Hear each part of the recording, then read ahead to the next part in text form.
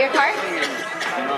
Yeah, we're a Mexican superhero, and we're made of uh, awesomeness and uh, performance and looks. All right. And for secondhand spandex, do you have any uh, last words? We're gonna make it. Awesome. Good attitude. We have a crush. Um, Who's on the right lane? Who's on the right lane? OMG. and OMG wins that round. Uh, that was actually Chocolate, Colorado. Chapulín, Colorado. Oh. Oh, hey, I'm Mexican. I watched that show. Congratulations, Luis.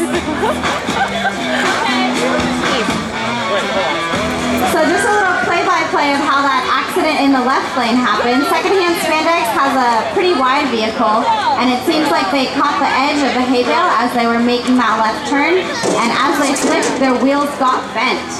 So um, that's a bit unfortunate. They did have a very lovely vehicle though, made from an old paddleboard.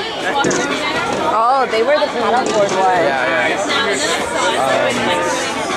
So we have here at the tent um, a keychain with a bike chain attached to it. So if you're the owner of this, hey, wait, oh, uh, we found the owner. Yay, success. Okay, Way to go, cycling team. some questions One of your own. you, and then Wisely pass it out. Okay. Wisely, can you pass?